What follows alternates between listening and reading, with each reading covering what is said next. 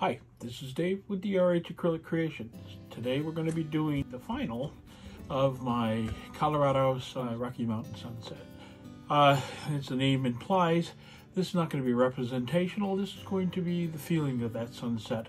Uh, the colors I have going today are the same colors I've used a couple times in the past, but this is uh, this is interference uh, violet and violet sparkle. This is interference red, interference red and red sparkle. This is interference blue and blue sparkle. This is interference gold and gold sparkle. Over on the pigment side, we're going to be using, going across, this is a uh, color from This Little Piggy. It is called Supernova. This is uh, a, another This Little Piggy. It is called Twilight a violet color with a little bit of shimmer. This is uh, This Little Piggy Horizon. And this is This Little Piggy Sapphire. Okay, on top of the, to start with, I'm going to putting down a swath of golden quinacridone nickel azo gold. That's a mouthful. So, and you can see the consistency there. Okay, my, my cell activators for today are, I won't show them, but they're, it's uh, Bone Black by Amsterdam, Titanium White by Amsterdam, and a combination of Precious Gold by Pebeo and uh, Iridescent Gold Deep by Amsterdam, all mixed with three parts Australian Floetrol. My pillow paint for today is PPG Multi-Pro in eggshell. And it's my go-to these days. So let me get you down to the canvas and we'll get started. Pillow paint is going down now. That's PPG Multi-Pro in eggshell. Get that at Home Depot. It's fairly inexpensive and it's my go-to for white pillow paint.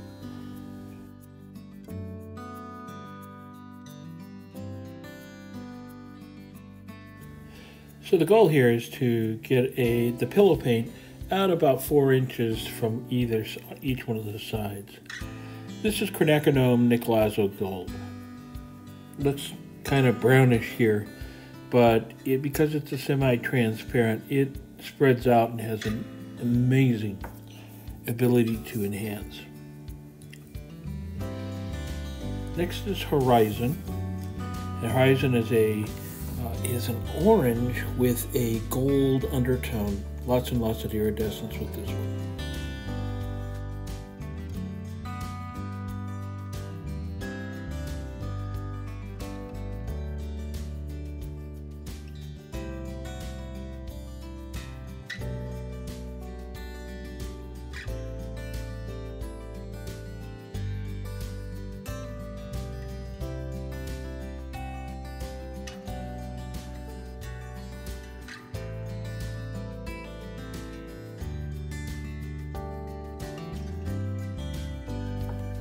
Our next color up is Twilight. Twilight is a uh, deep violet with a gold silver undertone and a little bit of blue.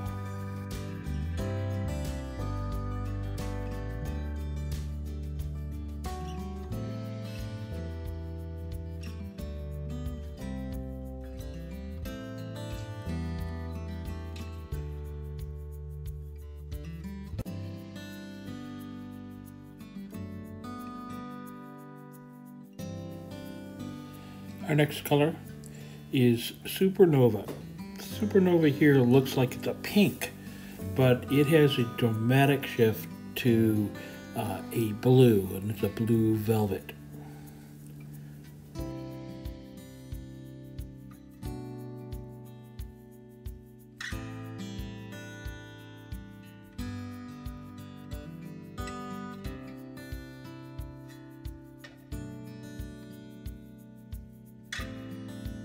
And I chose Supernova to pair with this color, which is Sapphire. Very deep, rich blue. Uh, probably one of my favorite sapphires that you can purchase. This is Interference Violet and Violet Sparkle. The They're ColorArte pigments and they complement each other very well. And I've done this with every one of my interferences.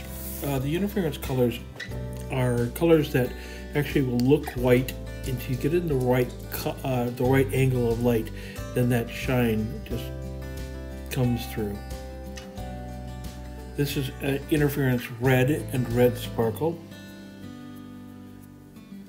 I've kind of been trying to stay away from the middle, but with the interference colors, it's okay. They do better over dark colors.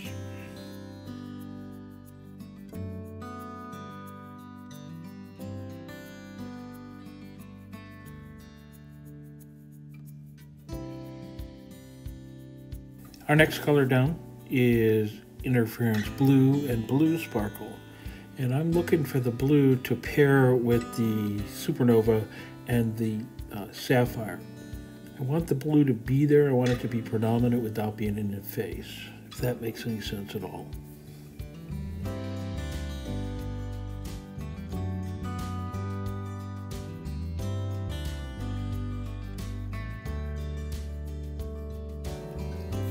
Our next color down is Interference Gold and Gold Sparkle. And that is just to give that little bit of something to uh, accentuate the last of the light.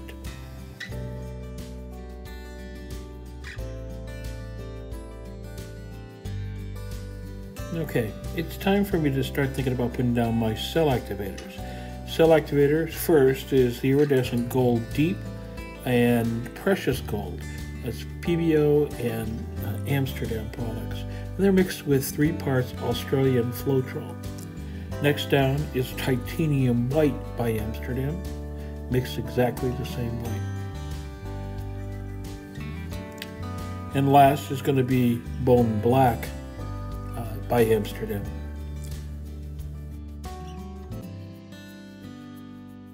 If you missed anything today, no problem. Take a look down in the description. There's a link to everything that I use. I have available a 101 series of how I mix my paints, my pigments, uh, how I do my blooming, how I prepare my uh, cell activators, all in the 101 series. Uh, it's in my uh, in my description below, and also there was a link on the above. Check it out if you're interested. What I've been doing here is just blowing it out. This is a, this is a flat-faced uh, blower, and I like this thing because it's low heat and it's not it's not over powerful, so it's perfect for this.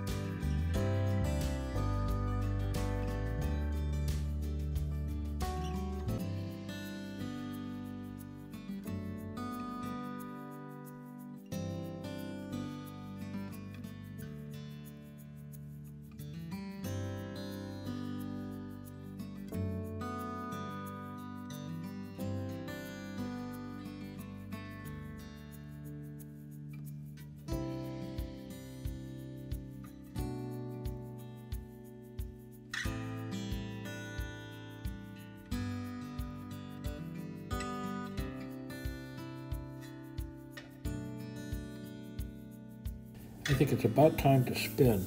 I want you to notice that I'm going to give very, very soft spin. Spins the first. I want to see how things are going to spread out. I'm keeping track of the composition.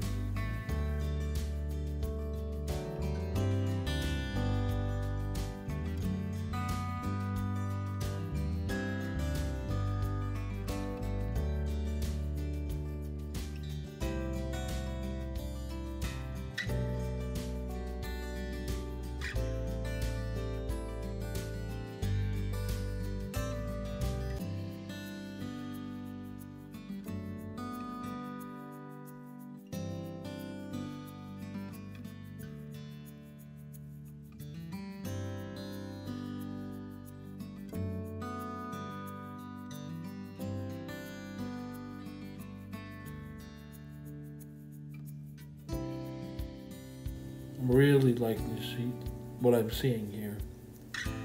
Got some some beautiful cell work. And the color mixing is just exactly what I was looking for.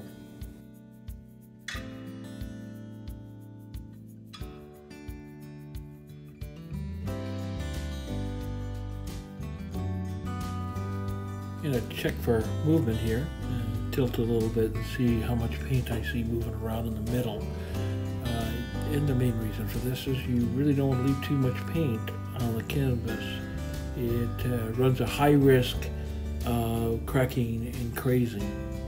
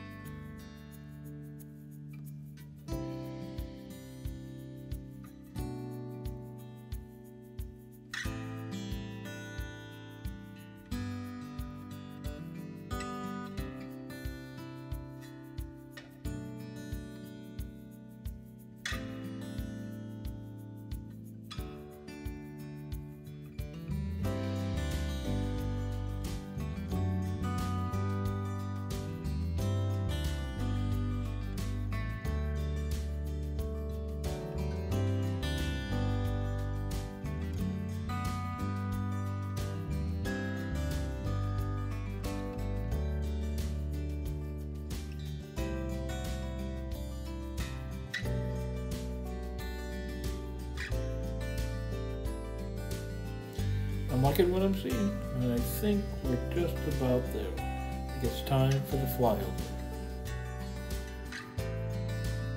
I don't think I really could be much happier with the cells that I've gotten with this this piece and the way the colors have combined and created a beautiful um, impression of a sunset.